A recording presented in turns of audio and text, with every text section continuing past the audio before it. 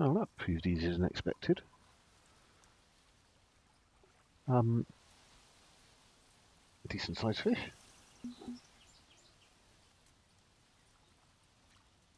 So, um, there's a lot to go over on this one.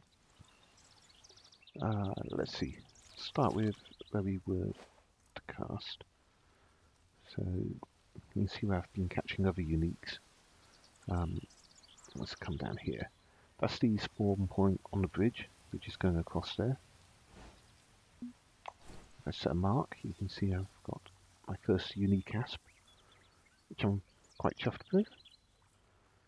Um, and then the equipment I'm using is a Frio Walker on a half ounce, a half ounce weight Frio Walker. Um, 17 pound line, which will be why the 13 pound unique just came straight in um, on a 19 pound reel. Um, 90 pound reel is relevant mainly because uh, that recovery 49 inches so this is an exceedingly quick reel. Um, I actually bought it for trout fishing where the, the extra recovery really helps.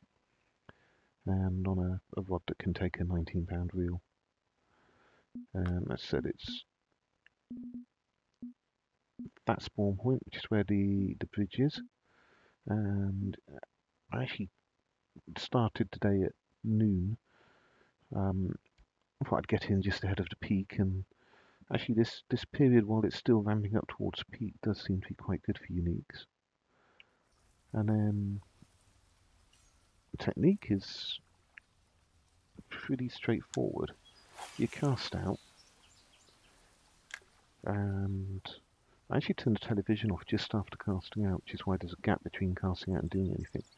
Then to speed one retrieve, and it's a twitching motion which with the top water lure gives you a walking motion.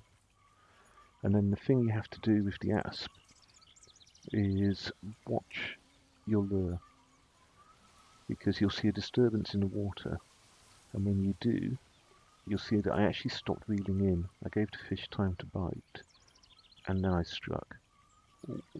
Just about had something there. Um, if you just keep reeling in you'll actually pull the lure away from the fish and then you won't get anything at all. So it's a trickier retrieve, one that you need to pay more attention to, I think, than most.